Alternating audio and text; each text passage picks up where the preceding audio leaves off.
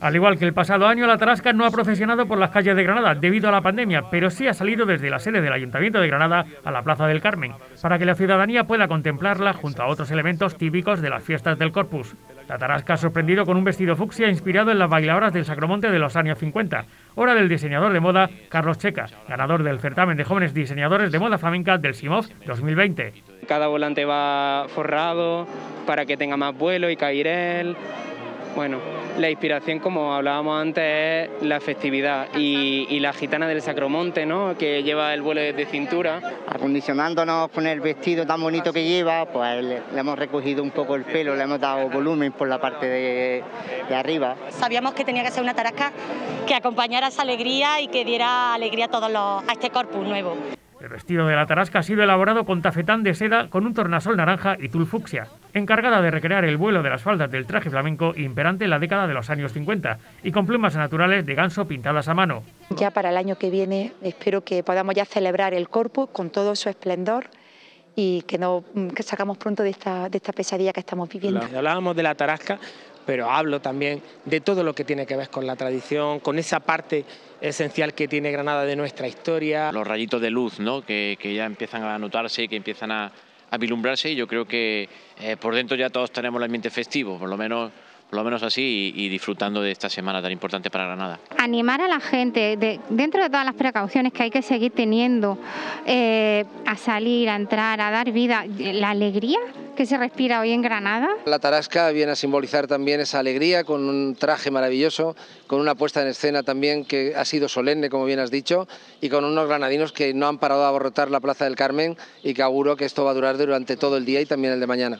Al igual que el pasado año, la tarasca permanecerá expuesta en la Plaza del Carmen hoy y mañana, en horario de mañana y tarde, vestida con un traje que apuesta por reivindicar el carácter festivo y alegre del corpus.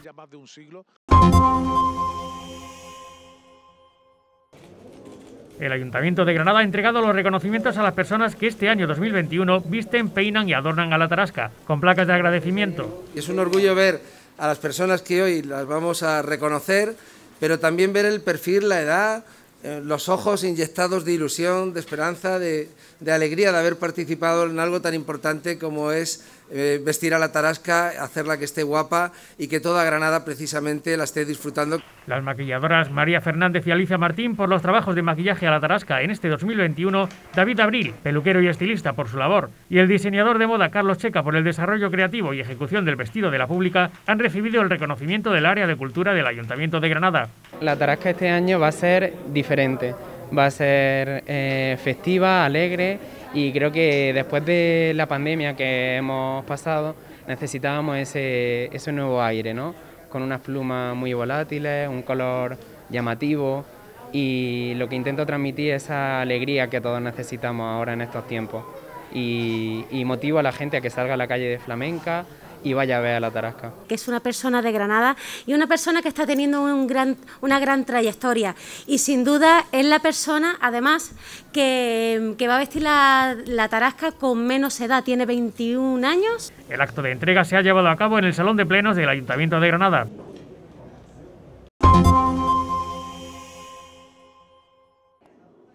Con el objetivo de impulsar la industria de la moda flamenca desde nuestra ciudad, llega una nueva edición de la Pasarela Flamenca Granada, el concurso de jóvenes diseñadores que se celebrará el domingo 6 de junio en el claustro del Hotel Santa Paula, a partir de las 12 del mediodía.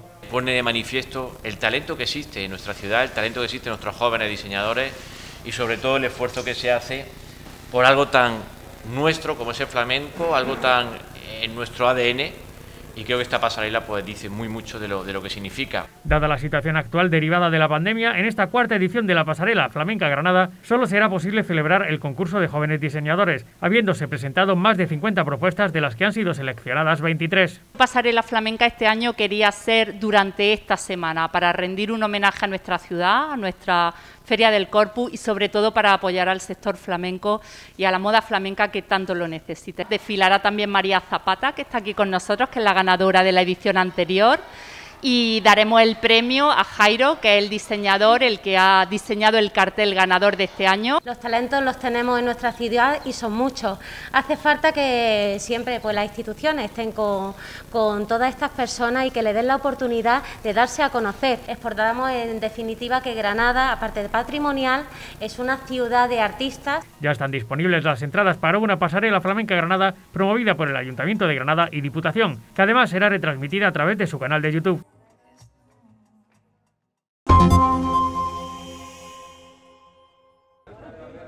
El encuentro mantenido en la tarde de ayer martes entre el presidente del Partido Popular de Granada, Francisco Rodríguez, y el alcalde de Granada, Luis Salvador, en el que los populares comunicaron que su dirección provincial mantiene intacta la hoja de ruta trasladada la pasada semana para que sea el PP el que gobierne la ciudad, al ser la fuerza más votada del centro derecha, Salvador ha afirmado que forman parte de reuniones habituales. Yo trasladaré a mi dirección el viernes los planteamientos que ellos me han planteado y lo que me han comentado como ellos lo ven y a partir de ahí nosotros compartiremos y será mi dirección la que tomará la decisión y fuera de eso no hay ningún tipo de elemento más. No hay negociaciones, no hay ultimátum, no hay marcar direcciones, no hay peleas, sin entrar en más que en haber recibido toda la información para transmitirla, comentarla el viernes y a partir de ahí, pues digamos, pues tomar las decisiones que siempre se tienen que tomar en un momento determinado, independientemente de lo que ya ha dicho como primera posición, evidentemente, o sea, Inés Arrimadas. Salvador ha sido preguntado por la ausencia de concejales del Partido Popular en actos celebrados hoy y ayer martes. Para las cosas en las que va el alcalde, si hay concejales que tengan que estar convocados, se convocan y a partir de ahí, ¿me entiendes? Pues cada uno verá cómo cuadra su agenda en un momento, en otro. No, no valoraciones, todos sabemos el momento, digamos, un poquito que se está viviendo y yo creo que el momento se llama hoy Corpus.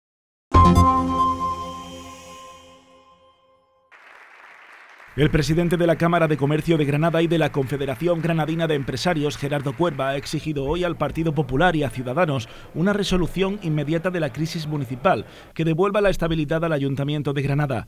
Cuerva, que se ha confesado muy preocupado, ha considerado intolerable la situación que vive el gobierno municipal de la capital y ha afirmado que la misma está teniendo repercusión sobre el funcionamiento de la ciudad y especialmente sobre la generación de iniciativas de desarrollo económico para la capital y también para toda la provincia. Por ello, el presidente de la Cámara y la Confederación ha exigido que se ponga fin ya a esta situación, pidiendo que se zanje hasta 2023, cuando los granadinos puedan volver a pronunciarse.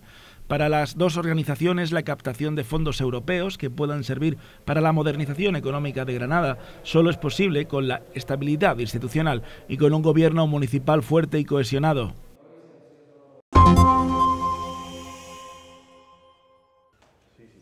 El Grupo Municipal de Vox en el Ayuntamiento de la capital ha instado al equipo de gobierno a actuar de forma urgente en la remodelación de las zonas verdes y mejorar la iluminación de los jardines de Pintor Ignacio Belda y los ubicados junto al monasterio de San Jerónimo, tal y como se aprobó en la moción del pasado mes de mayo para denunciar la inseguridad en el barrio de Gran Capitán.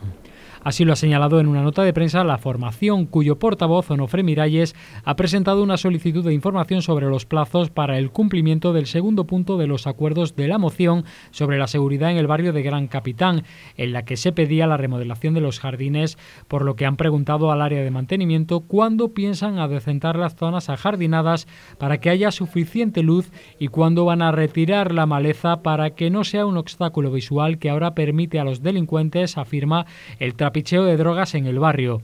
Desde Vox han recordado que durante las últimas semanas las policías nacional y local han acudido en varias ocasiones a la zona tras ser alertados por los vecinos de diversos altercados y actos delictivos. Solicitan que se intensifique la presencia policial en el centro de la capital, en concreto en la zona de la calle Gran Capitán y vías aledañas, tras el incremento, afirman, de delitos y la sensación generalizada de inseguridad en el barrio.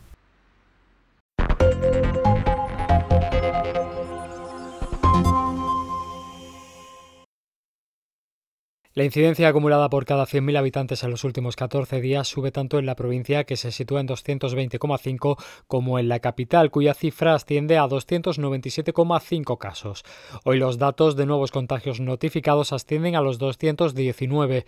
Hay que lamentar el fallecimiento de otras cuatro personas más, con lo que el número de muertos desde que comenzó la pandemia en la provincia granadina ha llegado ya a las 1.761 personas.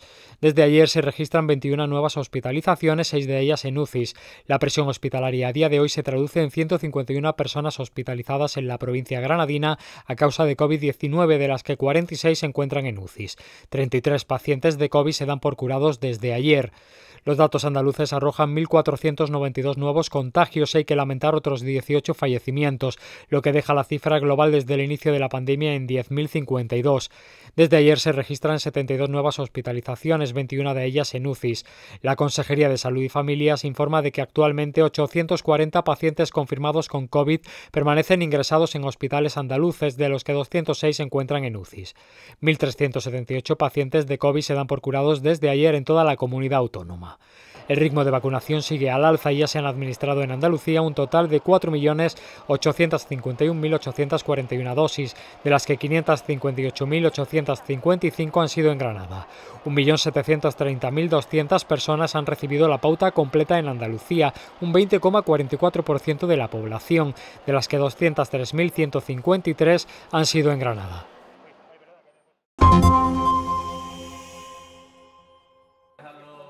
El Hospital Universitario Virgen de las Nieves cuenta con una unidad especializada en el tratamiento de la conducta alimentaria, dentro del Servicio de Salud Mental. El próximo mes de julio se cumple el primer año de funcionamiento de este dispositivo, periodo en el que ha atendido a 25 pacientes, 5 de ellos ya de alta, y que ha incorporado prestaciones de forma progresiva, tales como un comedor y distintas terapias ocupacionales. Estamos trabajando en autoconsulta, atención consulta, atención de, eh, de ingreso y, por supuesto, trabajo diario de hospital de día. Actividades en terapia ocupacional, en salas de grupos, hacemos terapias grupales y vamos a comenzar este mes, el mes de junio también, terapias familiares, porque es, muy importante eh, un abordaje ya no solamente del lado del paciente, sino familiar. En el Día Mundial de Acción contra los Trastornos Alimentarios han informado de que en esta unidad se trata afectados en función de la gravedad de cada caso y a mayores de edad, ya que a los menores se les sigue prestando atención sanitaria en el Hospital de Día Infanto-Juvenil. Se atiende desde una manera individual, eh, atendiendo toda la complejidad de estos pacientes, eh, desde su salud física, salud emocional, eh, también desde un punto de vista grupal, dando cobertura a todas las necesidades que, tienen y siempre uniendo la parte orgánica que puede estar afectada derivado de, todo su trastorno alimentario con la parte de salud mental. Esta unidad se ha consolidado durante las distintas olas de la pandemia, por lo que con el fin de mantener las medidas de seguridad de las 12 plazas de las que dispone, en la actualidad se atiende a 8 pacientes en régimen ambulatorio completo.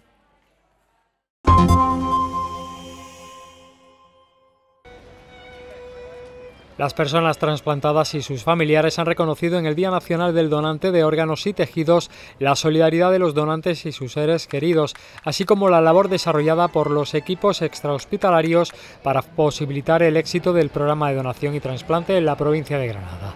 Este es un día grande, como he dicho hace un momento, porque ser tan generoso para dar todos los órganos y que esos órganos puedan dar vida, pues yo creo que hay que celebrarlo y que esto también sirva para poder hacer un llamamiento a esas donaciones de, órganos, no solamente de órganos, de tejidos, de células, que luego van a servir pues, para dar vida a nuestros propios conciudadanos. ¿no? no hay algo más generoso que esto y por lo, por lo tanto lo que podemos hacer es agradecer a los donantes, a las asociaciones y a todos los profesionales sanitarios que se vuelcan en este proceso, incluso en tiempos de pandemia. Cara a los trasplantes, lo que hemos hecho es un gran trabajo en equipo en el que contando con la generosidad y con la solidaridad de la gente, la verdad es que eh, los equipos de donación se han volcado a pesar de las restricciones y de las medidas COVID que teníamos fuera del hospital, tanto dentro del hospital, y la verdad es que estamos muy contentos del resultado obtenido.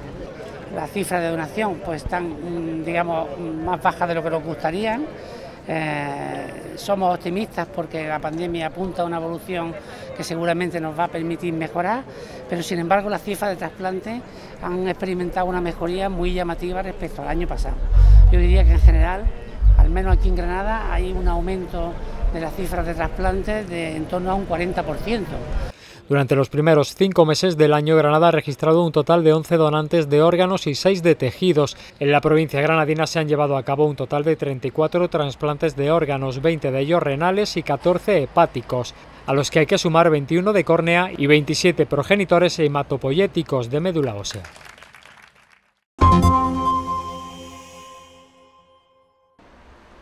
El fin del estado de alarma y de las restricciones se ha traducido de forma automática en una mejora sustancial del empleo.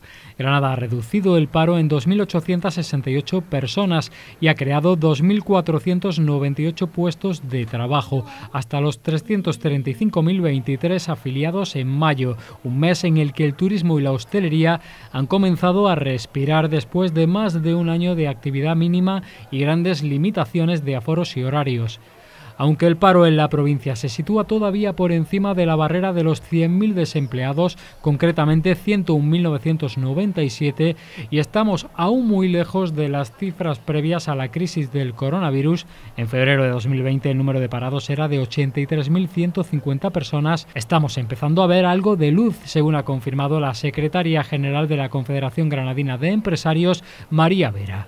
De hecho, la provincia ha registrado en mayo un mes tradicionalmente bueno para el mercado laboral, la mayor caída del paro desde diciembre de 2019 y en comparación con otros meses de mayo el descenso del desempleo es más intenso de los últimos ocho años.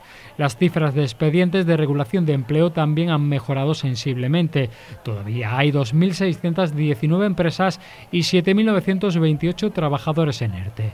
Para la Confederación Granadina de Empresarios también resulta preocupante que Granada no esté recuperándose al mismo ritmo que el resto del territorio, pese a la importancia del sector servicios en la economía provincial. En Andalucía el paro ha caído un 2,9% y en España un 3,31%. La comparación anual también deja peor parada a Granada. Aquí las cifras de desempleo todavía son un 1,01% superiores de las de mayo de 2020, mientras que en Andalucía son un 1,36 más bajas y en España el descenso interanual alcanza el 1,98%.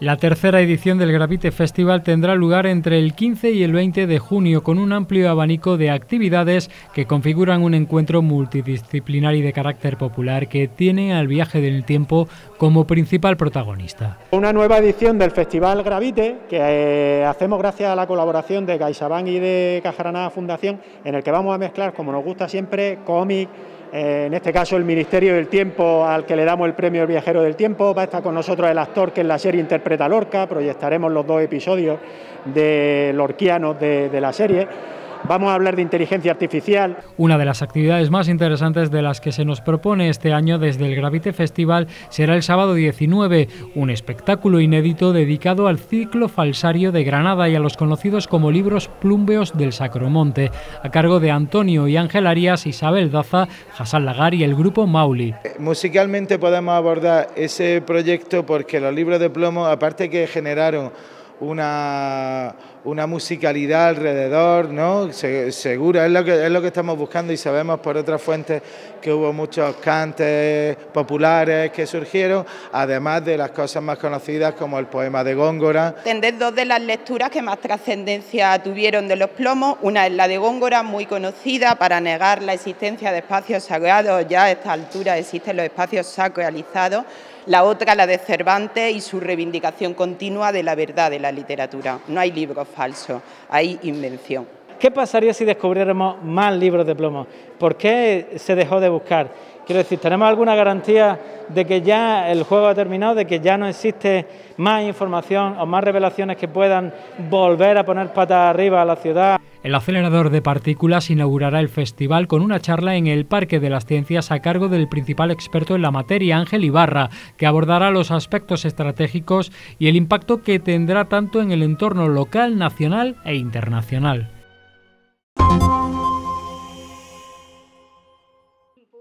Un total de 24 escolares de diversos centros educativos de la ciudad y su entorno han recibido esta mañana los premios de la 16 edición del concurso de redacción y dibujo de la Fundación Agua Granada.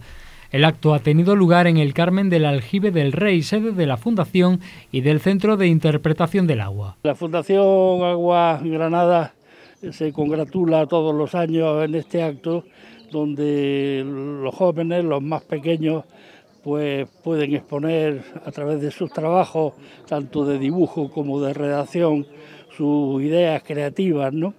Este año hemos anunciado a los presentes que la nueva edición tendrá también un apartado eh, de poesía para aquellos jóvenes que sienten inquietud por esa eh, hermanastra de la literatura. Porque el jurado a veces se las ve y se las desea para poder distinguir entre el primero, el segundo, y tal. El hecho de que ya hayan participado el niño, la niña en la redacción, en el dibujo, ya merece nuestro agradecimiento y nuestro premio. Así es que todos los participantes han sido premiados. Hay que distinguir unos, pero todos.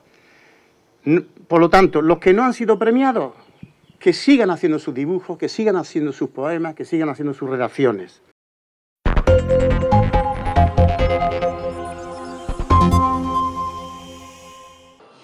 Ha sido inaugurado en el Estadio de los Cármenes el Formex Visión Fútbol, un congreso futbolístico en el que colabora el Ayuntamiento de Granada y el Granada Club de Fútbol. El objetivo de estos encuentros es hablar de presente y futuro en el fútbol, un deporte en el que cada vez son más importantes la innovación, la formación académica y la tecnología para un mundo en el que domina la profesionalización y la situación económica, en definitiva, el dinero en este fútbol.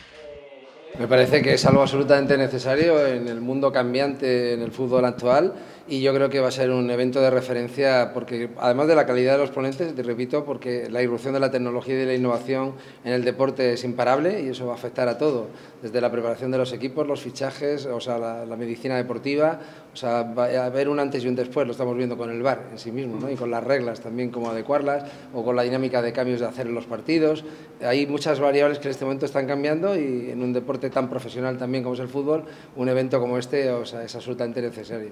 Yo espero que pronto podamos dar noticias, estamos trabajando en, ello de manera eh, dura porque al final es algo muy importante y, y vamos, pronto, pronto verá la luz. Sí, ha sido días, ha sido una semana pasada y un fin de semana intenso, pero bueno, aparte nos queda un junio, julio, agosto hasta que se cierre el mercado de muchísimo trabajo, pero yo creo que es parte de, lo bonito de, esta industria, ¿no? de esa adrenalina de los meses de verano, que vivirlo, es verdad que son un montón de horas y muchas situaciones de tensión y, de estrés, ¿no? de, de agobio de no llegar, pero es una gozada vivirlo. Tiene como la parte buena y la parte mala, pero desde luego que compensa y, y esa adrenalina es impagable.